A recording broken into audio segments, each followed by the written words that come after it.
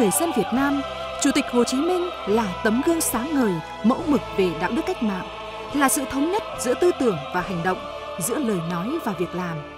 Người là biểu tượng về ý chí, nghị lực và sự phấn đấu không ngừng nghỉ vì quyền lợi của Tổ quốc, vì hạnh phúc của nhân dân. Hiến dâng trọn đời mình cho sự nghiệp cách mạng vẻ vang của dân tộc, tên tuổi và sự nghiệp của người còn mãi với non sông đất nước ta, sống mãi trong lòng dân tộc ta và trong trái tim nhân loại. Người đã để lại một di sản vô cùng quý báu, đó là tư tưởng, đạo đức, phong cách Hồ Chí Minh mà ngày nay đã trở thành lẽ sống tự nhiên trong mỗi người dân Việt Nam.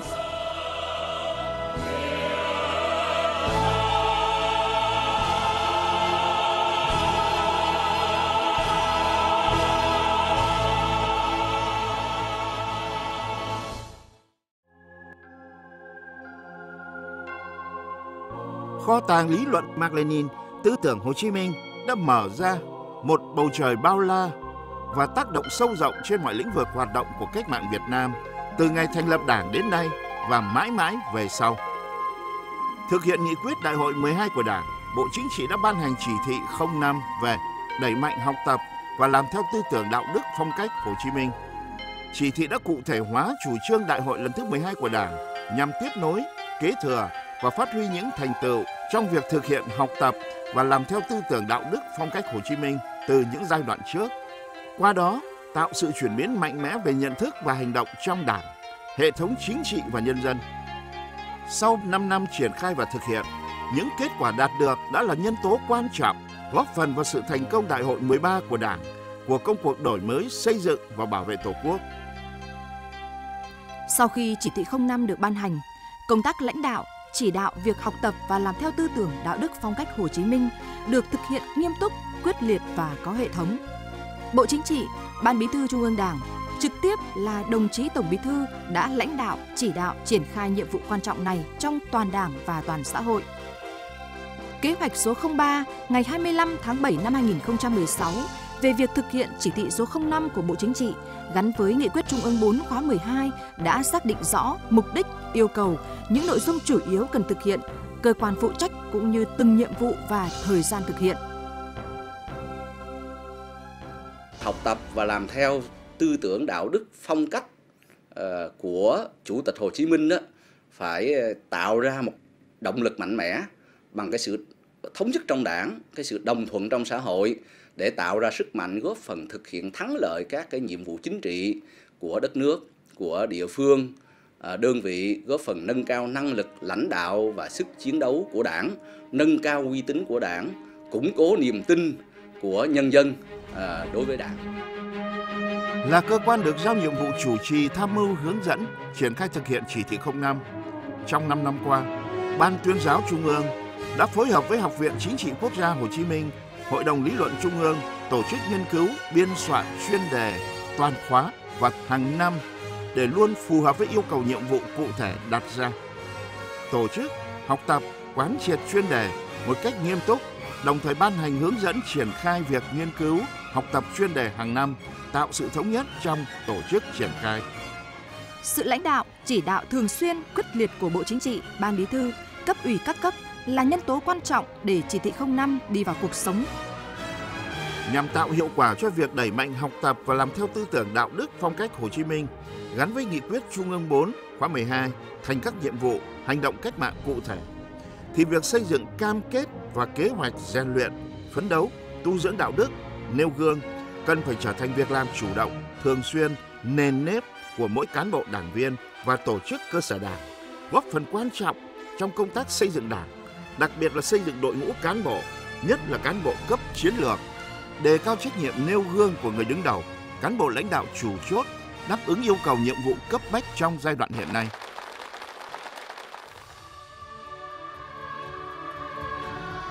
Nhận thức sâu sắc tư tưởng đạo đức phong cách Hồ Chí Minh là tài sản tinh thần vô cùng to lớn và quý báu của toàn Đảng, toàn dân, toàn quân ta. Công tác giáo dục đạo đức lối sống cho thế hệ trẻ được quan tâm thường xuyên, triển khai có hiệu quả việc đưa nội dung học tập và làm theo tư tưởng đạo đức phong cách Hồ Chí Minh vào các chương trình đào tạo, bồi dưỡng lý luận chính trị, chuyên môn nghiệp vụ cho cán bộ, đảng viên, học sinh, sinh viên đạt hiệu quả thiết thực.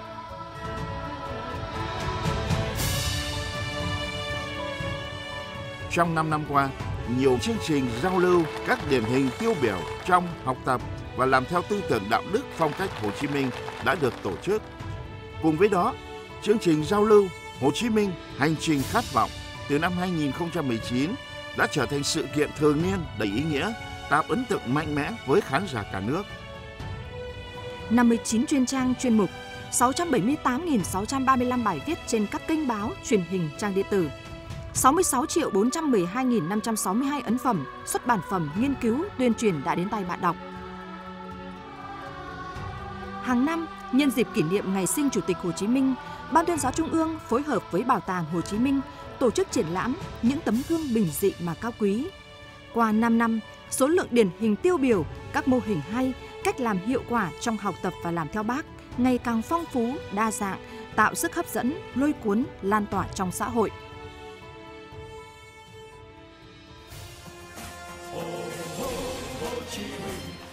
Công tác tuyên truyền đối ngoại thực hiện nhiệm vụ học tập và làm theo tư tưởng đạo đức phong cách Hồ Chí Minh đã được Bộ Ngoại giao tích cực chỉ đạo thực hiện theo đề án tôn vinh Chủ tịch Hồ Chí Minh, anh hùng giải phóng dân tộc, nhà văn hóa kiệt xuất ở nước ngoài với nhiều hoạt động có ý nghĩa thiết thực ở khắp các châu lục. Có thể nói, Bác Hồ là một lãnh tụ vĩ đại, không chỉ của người Việt Nam mà còn của cả thế giới. Vì vậy, khi biết tại Thái Lan có nhà của Bác Hồ, chúng tôi đã rất vui và xúc động khi được tới đây tham quan và tìm hiểu kỹ hơn về người. Hoạt động tuyên truyền đối ngoại đã góp phần nâng cao tinh thần tự hào dân tộc, đoàn kết cộng đồng người Việt Nam ở nước ngoài, phát triển và làm sâu sắc thêm quan hệ nhiều mặt, nhiều lĩnh vực của Việt Nam với thế giới.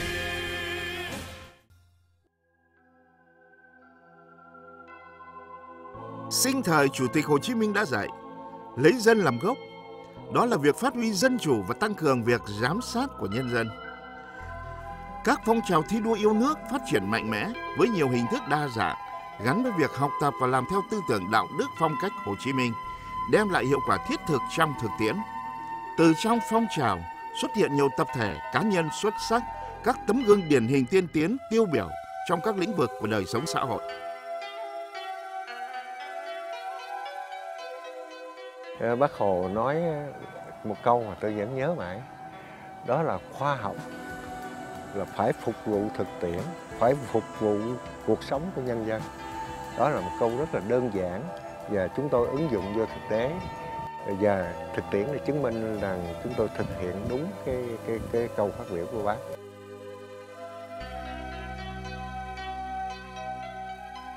Từ cái học theo bác rồi, trách nhiệm mình là người đầy cán bộ là đầy tớ của dân, Đấy, là đầy tớ trung thành của dân. Thế cho nên là anh em chúng tôi xác định là không công việc gì là không làm được. Học tập và làm theo lời bác dạy, dễ trăm lần không dân cũng chịu,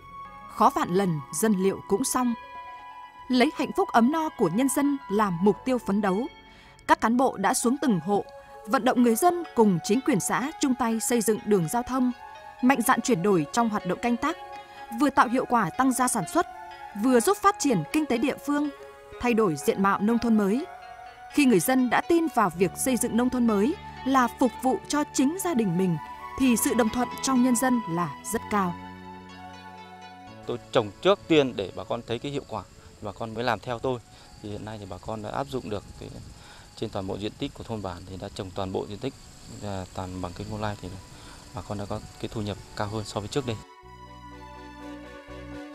Trong công tác xây dựng đảng, 100% các cấp ủy đảng trên toàn bộ 63 tỉnh ủy, thành ủy, đảng ủy trực thuộc trung ương đã xây dựng chương trình hành động, kế hoạch cụ thể, nội dung đột phá, giải quyết những vấn đề bức xúc, tích cực đấu tranh chống tham nhũng tiêu cực. Công tác xây dựng Đảng đã tăng cường niềm tin của cán bộ, đảng viên và nhân dân với Đảng, mang lại sự đoàn kết nội bộ, sự đồng thuận của nhân dân, góp phần hoàn thành tốt nhiệm vụ chính trị ở mỗi địa phương, đơn vị.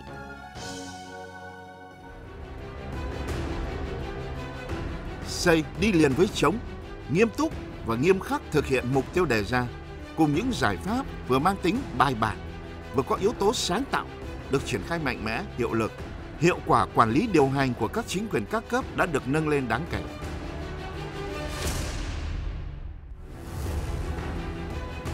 Trước những thách thức của tình hình trong nước và quốc tế, đòi hỏi Đảng ta phải thường xuyên đổi mới và chỉnh đốn để xây dựng Đảng thành tổ chức vững mạnh và trong sạch.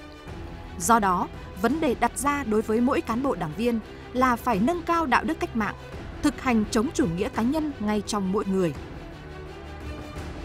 Việc thực hiện chỉ thị 05 gắn với nghị quyết Trung ương 4 khóa 12 đã góp phần tích cực trong công tác xây dựng, chỉnh đốn đảng về chính trị, tư tưởng, đạo đức, tổ chức và cán bộ, ngăn chặn suy thoái về tư tưởng chính trị, đạo đức, lối sống, những biểu hiện tự diễn biến, tự chuyển hóa trong nội bộ,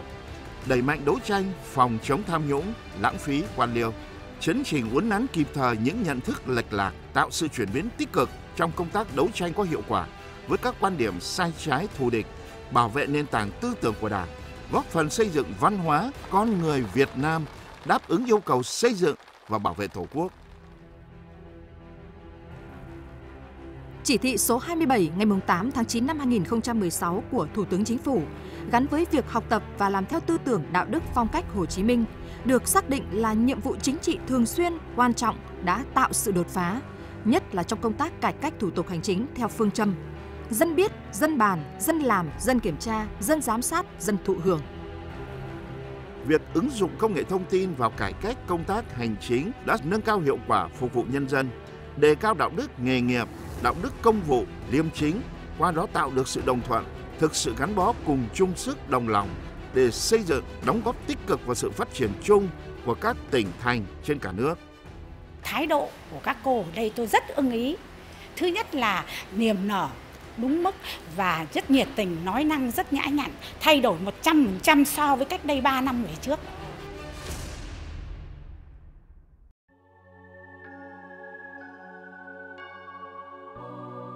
Chủ tịch Hồ Chí Minh đặc biệt quan tâm đến việc đoàn kết đồng bào các tôn giáo vì sự nghiệp chung, xây dựng đất nước.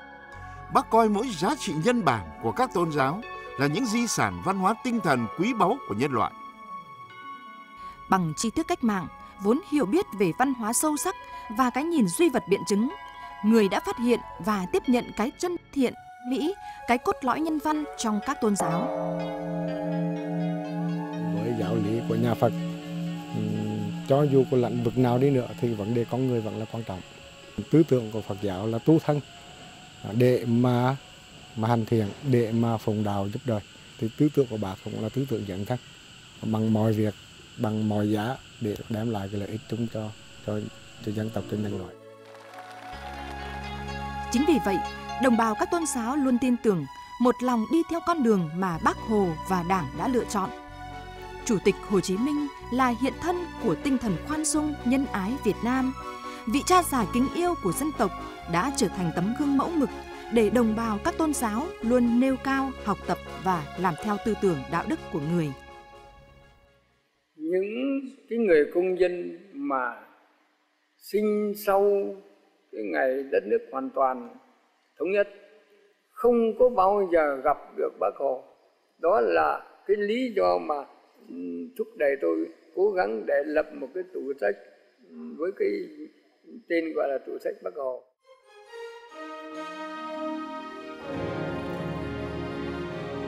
trong công tác xây dựng nền quốc phòng toàn dân gắn với an ninh nhân dân vững mạnh. Lực lượng vũ trang đóng vai trò nòng cốt, luôn tiên phong trong nhiệm vụ giữ vững an ninh quốc gia và trật tự an toàn xã hội cho Đảng và cho nhân dân. Thực hiện lời dạy của Chủ tịch Hồ Chí Minh, nơi địa đầu Tổ quốc, những người chiến sĩ luôn đẩy mạnh học tập và làm theo tư tưởng đạo đức phong cách Hồ Chí Minh bằng những việc làm cụ thể, đạt hiệu quả thiết thực. Những chiến sĩ nơi tuyến đầu nguyện quyết tâm thực hiện lời dạy của Bác nêu gương trong hành động, nâng cao trách nhiệm bảo vệ chủ quyền biển đảo thiêng liêng của Tổ quốc. Hình ảnh cán bộ, chiến sĩ luôn có mặt ở những nơi sung yếu, hiểm nguy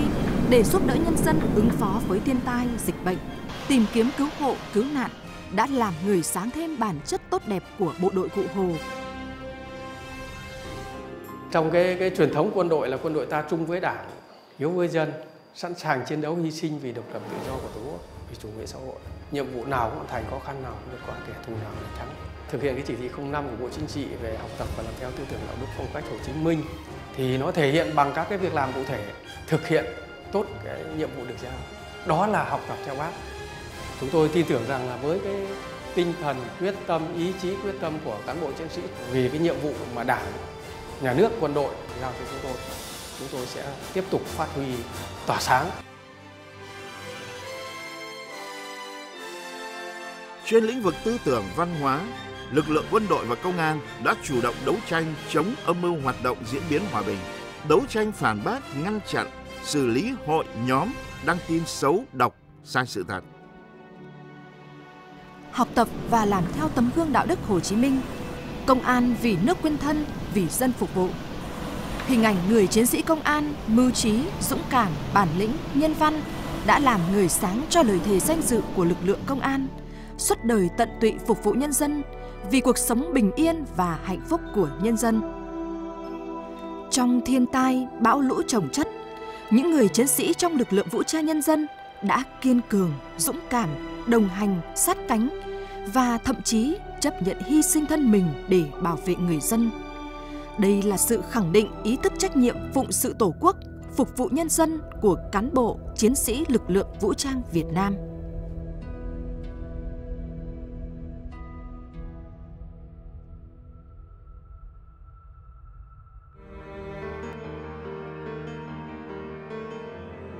Thực hiện lời Bác Hồ dạy, đoàn kết, đoàn kết, đại đoàn kết, thành công, thành công, đại thành công. Năm 2020, Việt Nam phải đương đầu với đại dịch Covid-19, nhưng với sự quyết tâm thống nhất hành động của cả hệ thống chính trị, cộng đồng xã hội và nhân dân cả nước, đại dịch đã cơ bản được kiểm soát và ngăn chặn. Với trách nhiệm cao và tầm nhìn xa, Đảng và chính phủ ta xác định phương châm hành động chống dịch như chống giặc, không chỉ nỗ lực chống dịch hiệu quả mà phải tiên phong trong thực hiện mục tiêu kép kiểm soát dịch đi đôi với tái khởi động nền kinh tế. Cuộc chiến đấu này như một phép thử có kết quả là sự tin tưởng, đồng lòng vượt qua mọi khó khăn thử thách. Sự ra đời của Quỹ vaccine phòng chống COVID-19 và các hoạt động thiện nguyện trái tim kết nối trái tim đã khẳng định ý chí, sức mạnh của tinh thần đoàn kết từ lãnh đạo cao nhất của Đảng, Chính phủ đến từng người dân Việt Nam. Trong 5 năm 2016-2020, Thủ tướng Chính phủ tặng bằng khen cho 93 tập thể, 225 cá nhân có thành tích tiêu biểu trong học tập và làm theo tư tưởng đạo đức phong cách Hồ Chí Minh. Nhiều điển hình được tôn vinh có tác dụng cổ vũ mạnh mẽ, khích lệ động viên cán bộ đảng viên, tạo ra sức lan tỏa sâu rộng trong mọi tầng lớp nhân dân, thúc đẩy tinh thần lao động, cống hiến, thi đua yêu nước của toàn đảng và toàn xã hội. Việc là thực hiện chỉ thị 05 đã gắn kết chặt chẽ với các cái nghị quyết, à, các chỉ thị, các cái quy định của đảng ta về xây dựng chỉnh đốn đảng, đặc biệt là nghị quyết Trung ương 4 khóa 11, nghị quyết Trung ương 4 à, khóa 12, à, có thể nói rằng là một trong những cái kinh nghiệm, những cái thành công trong thời gian qua chính là đã kết hợp chặt chẽ giữa và cái việc mà thực hiện cái chỉ thị 05 với các cái nghị quyết của đảng và chính là cái thực hiện tốt của chỉ thị 05 đã góp phần xây dựng đảng ta trong sạch à, vững mạnh về chính trị, tư tưởng, đạo đức và xây dựng được à, đội ngũ à, cán bộ của chúng ta có lập trường chính trị, phẩm chất đạo đức trong sáng và tác phong công tác là ngày càng khoa học, hiệu quả và gần gũi với quần chúng. Tiếp nối, kế thừa và phát huy những thành tựu trong việc thực hiện, học tập và làm theo tư tưởng đạo đức phong cách Hồ Chí Minh từ những giai đoạn trước. Sau 35 năm đổi mới, trong đó có 5 năm triển khai thực hiện chỉ thị 05 của Bộ Chính trị về đẩy mạnh học tập và làm theo tư tưởng đạo đức phong cách Hồ Chí Minh, chúng ta đã đạt được những thành tựu to lớn và có ý nghĩa lịch sử, hiện thực hóa khát vọng xây dựng một Việt Nam hùng cường, sánh vai với các cường quốc Nam châu, đất nước ta chưa bao giờ có được cơ đồ, tiềm lực, vị thế và uy tín quốc tế như ngày nay. Nghị quyết Đại hội Đảng lần thứ 13 đã khẳng định kiên quyết kiên trì thực hiện nghị quyết Trung ương 4 khóa 11, nghị quyết Trung ương 4 khóa 12 về xây dựng Đảng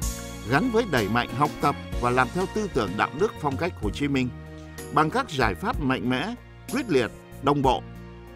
Các cấp ủy, tổ chức đảng tiếp tục đẩy mạnh công tác đấu tranh phòng chống tham nhũng, với quyết tâm chính trị cao hơn, hành động mạnh mẽ, quyết liệt, hiệu quả hơn. Phải tiến hành kiên quyết, kiên trì, liên tục, không dừng, không nghỉ, không vùng cấm ở tất cả các ngành, các cấp, các lĩnh vực. Để tiếp tục đẩy mạnh việc học tập và làm theo tư tưởng đạo đức phong cách Hồ Chí Minh thực hiện quyết liệt hơn, thì việc nêu gương khẳng định vai trò lãnh đạo, tính tiên phong, gương mẫu, trên trước, dưới sau, trong trước, ngoài sau, nói đi đôi với làm. Đảng viên đi trước, làng nước theo sau. Người có chức vụ càng cao thì càng phải gương mẫu trong tu dưỡng, rèn luyện phẩm chất đạo đức, lối sống, phong cách, tác phong, công tác. Dám nghĩ, dám làm, dám chịu trách nhiệm. Như lời bác dạy, một tấm gương sống còn có giá trị hơn 100 bài diễn văn tuyên truyền. Việc học tập và làm theo tư tưởng đạo đức phong cách Hồ Chí Minh là xuất phát từ yêu cầu của sự nghiệp cách mạng qua mỗi thời kỳ, là tình cảm thiêng liêng của cán bộ đảng viên nhân dân ta đối với Bác Hồ kính yêu. Với lòng biết ơn Chủ tịch Hồ Chí Minh vô hạn, với tinh thần trách nhiệm trước Đảng, trước nhân dân và những nhiệm vụ yêu cầu mới, toàn Đảng, toàn quân và toàn dân ta cùng hành động thiết thực, không ngừng phấn đấu học tập và làm theo tư tưởng đạo đức phong cách Hồ Chí Minh trong từng việc làm cụ thể. Thấm nhuần sâu sắc những di huấn của Chủ tịch Hồ Chí Minh, chúng ta cần phải tiếp tục tăng cường xây dựng chỉnh đốn đảng và hệ thống chính trị thật sự trong sạch, vững mạnh cả về chính trị, tư tưởng, tổ chức và đạo đức, nâng cao năng lực lãnh đạo, năng lực cầm quyền và sức chiến đấu của Đảng, xây dựng nhà nước pháp quyền xã hội chủ nghĩa thật sự là của nhân dân, do nhân dân và vì nhân dân. Phải tiếp tục phát huy truyền thống gắn bó máu thịt giữa đảng với dân dựa vào nhân dân để xây dựng đảng, ra sức phát huy dân chủ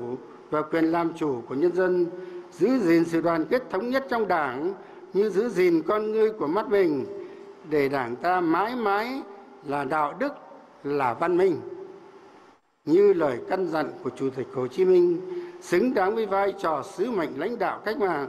và sự tin cậy, kỳ vọng của nhân dân cả nước. Tiếp tục đưa việc đẩy mạnh học tập và làm theo tư tưởng, đạo đức, phong cách hồ chí minh trở thành sinh hoạt chính trị thường xuyên, trở thành một nhu cầu văn hóa trong đảng, trong dân.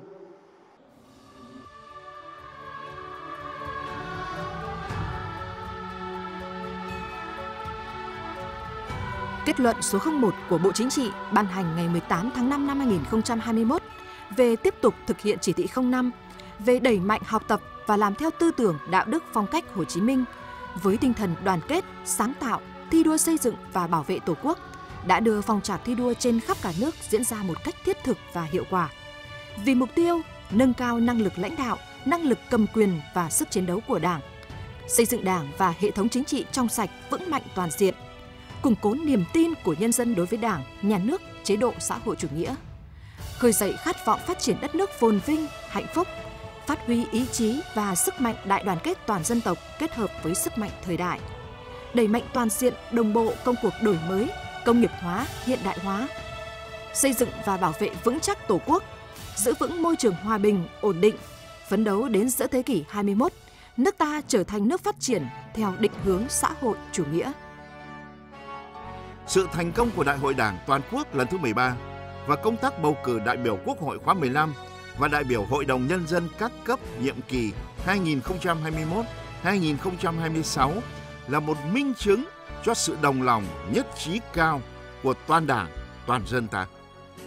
Tư tưởng đạo đức phong cách Hồ Chí Minh là nguồn sức mạnh tinh thần, là vẻ đẹp mẫu mực được đảng và nhân dân tiếp tục giữ gìn, phát huy trong thời gian tới. Con đường cách mạng mà đảng và lãnh tụ Hồ Chí Minh đã lựa chọn mãi mãi là chân lý để dân tộc ta vững bước đi lên xây dựng tương lai.